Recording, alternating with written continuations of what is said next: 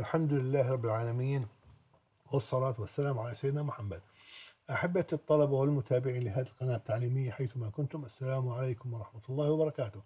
أقدم في هذا المقطع السريع مثال مقتضب عن تقدير معلومات نموذج بمتغيرات متفاعلة. Example in a model with interaction terms.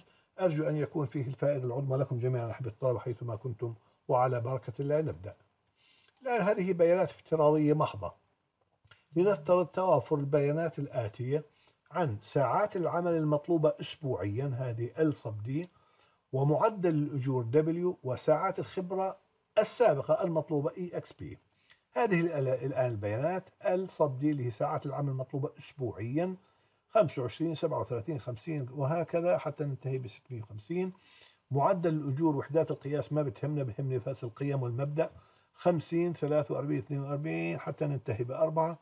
وساعات الخبرة السابقة 10 13 24 وهكذا إلى أن انتهي ب 600 والآن هذا المتغير الجيد هو عبارة عن التفاعل بين معدل الأجور وساعات العمل اللي هن ساعات الخبرة السابقة طبعا بالساعة. فحاصل ضربهم أعطاني هذه القيمة. هذا الآن المتغير الذي سنستخدمه إن شاء الله بالتقدير إلى جانب ال W وال experience اللي هو معدل الأجور وساعات الخبرة المطلوبة. الآن التقديرات. بناء على البيانات التي ذكرت هذه البيانات نفسها قدرت معلمات ثلاث معادلات انحدار كما يأتي. هذه المعادلة الأولى التي قدرناها الدالة الأولى آه، بتقول أنه آه، آه، ساعات العمل المطلوبة أسبوعيا هي عبارة عن 625.6091 سالب كما هو متوقع نظريا. سالب 13.38 13 بال wage rate معدل الأجور وال R square يساوي 98.1 بالعشرة. المقصود فيه أن الآن بأن هذا عبارة عن دالة طلب على العمالة ساعات العمل المطلوبة أسبوعيا طبعا بعلاقة ذلك بالويج ريت كأنه السعر طبعا هنا. هذا الخطأ المعياري لكل معلمة قدرناها. لو قسمنا هذه القيمة على هذه القيمة بنحصل على قيمة تي عالية كذلك الأمر قسمنا 13.38 على 13 مقسم على فاصلة 78 بتكون عالية جدا وبالتالي آه، هاتان المعلمتان تتمتعان بالمعنوية إحصائية عالية أي مقبولتان من ناحية تقديرية.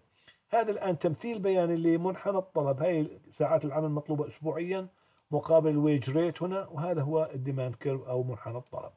فقط يعني عبارة عن دالة بسيطة أو علاقة بسيطة.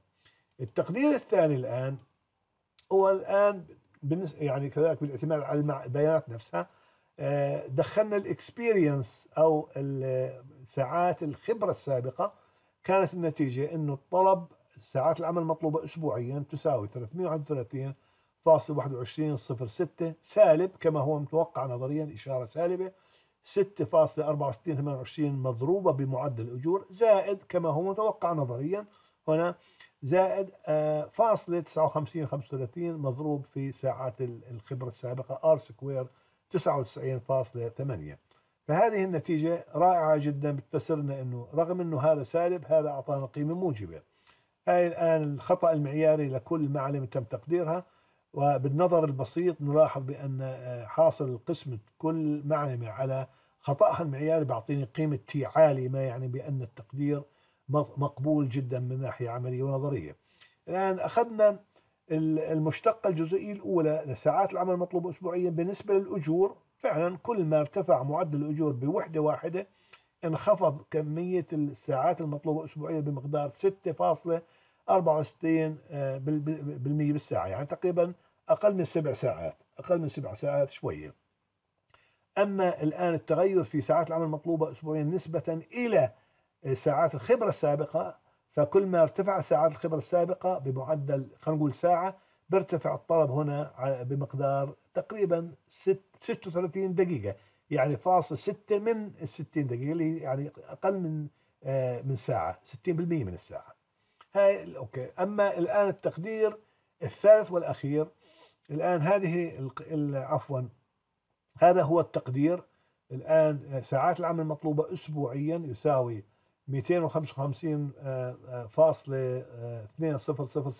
سالب كما هو متوقع نظريا إنه الأجور أثرها سلبي على آه، ساعات العمل المطلوبة اسبوعيا فسالب 5.2885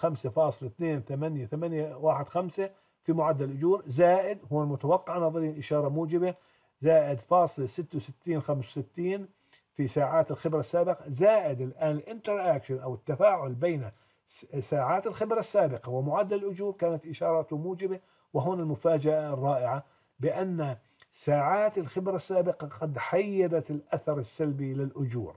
فهون طلعت الإشارة موجبة. كي نتأكد من هذا الكلام حسبنا طبعا R square يساوي 99.8 حسبنا الستاندرد أو الخطأ المعياري لكل معلمة فكانت كما يلي هذه الأولى هذه الثانية هذه الثالثة هذه الرابعة. بقسمة كل واحدة من نجد بأن كل المعلومات تمتعت بمعنوية إحصائية عالية ما يعني بأن التقدير رائع ومقبول إحصائيا ونظريا وعمليا.